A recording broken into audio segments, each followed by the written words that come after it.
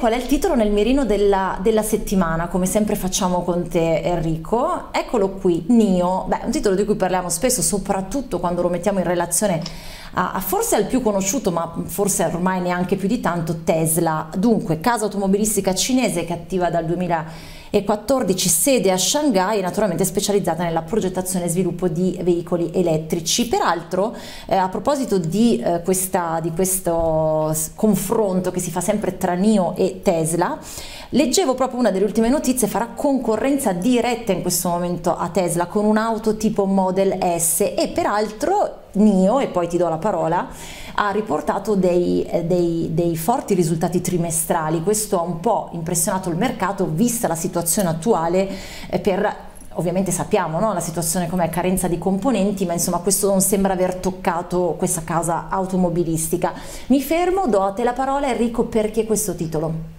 Beh, io ho messo nel mirino e quindi sostanzialmente in watch list NIO eh, per ragioni di evidenza grafica, per ragioni di prezzo, eh, un titolo che eh, un paio d'anni fa, un anno e mezzo fa, sembrava il classico titolo esplosivo e sembrava che potesse velocemente ricalcare il movimento di Tesla, per cui trader molto giovani, rampanti, ottimisti eh, la davano come opportunità obbligatoria da mettere in portafoglio, salvo poi appunto smentire totalmente questa previsione e NIO è andato a fare un importante bottom in area eh, 12, 12, dollari e eh, sui grafici che abbiamo preparato eh, si può proprio evidenziare un movimento, un pattern, probabilmente il pattern più famoso, più ricercato da, dai trader, che poi sostanzialmente è un pattern che non si verifica molto spesso.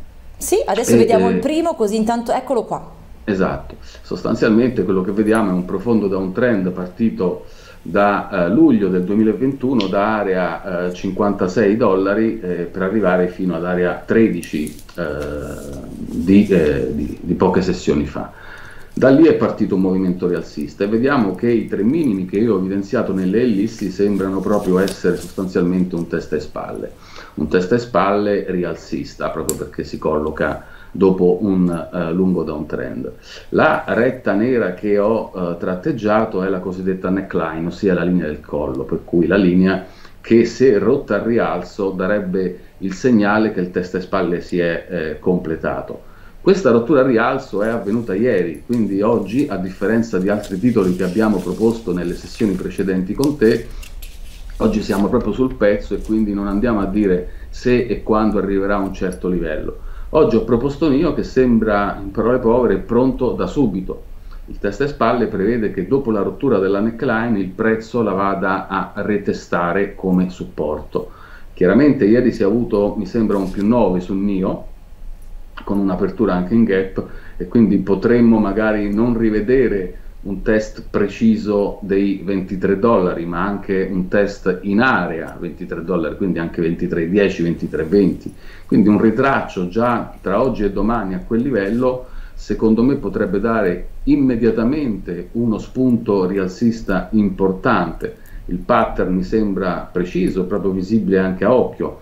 Dico questo perché tante volte quando si va a cercare una figura pur di fare trading ci si autoconvince che quella figura eh, ci sia, ossia il nostro occhio tende certo. ad adattarla ai nostri desideri. In questo caso, ripeto, mi sembra di poter dire che, che ci sia e soprattutto nella ellisse centrale, quella che corrisponde alla testa, vediamo che c'è un gap a scendere e un gap poi a salire, quindi abbiamo anche un'altra figura di analisi tecnica dove adesso non ci andiamo ad approfondire, ma comunque anche lì un forte segnale rialzista. Quindi credo che NIO abbia sostanzialmente invertito il trend e che su un eventuale ritraccio, anche minimo, potrebbe essere un'ottima occasione per l'acquisto di medio periodo. E poi nel secondo grafico sì, adesso lo andiamo a vedere subito a evidenziare come i minimi raggiunti eh, appunto pochi, poche sessioni fa in area 13 dollari possano essere dei minimi interessanti anche per chi va a uh, utilizzare Fibonacci per cercare dei livelli importanti. In questo caso vediamo come dai massimi di uh, novembre del 2020 addirittura in area 68 dollari il prezzo fosse sceso fino ad area 33 dollari dove abbiamo quella retta in giallo che ho tratteggiato e, quella, e quel, quel, target dei 33 dollari poteva essere un movimento ampio eh, dal quale il prezzo sarebbe potuto ripartire. Poi invece è stato rotto al ribasso e come vediamo dove ho messo la freccia rossa a scendere è stato poi retestato come resistenza.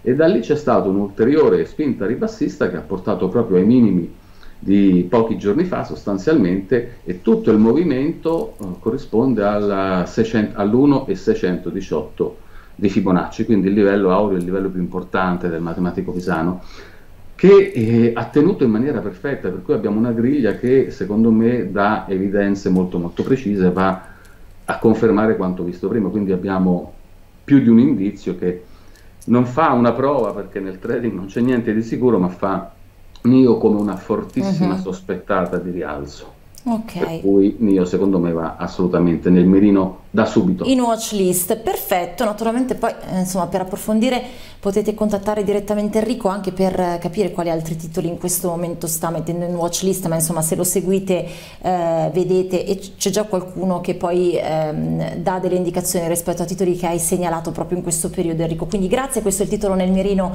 della settimana. Nio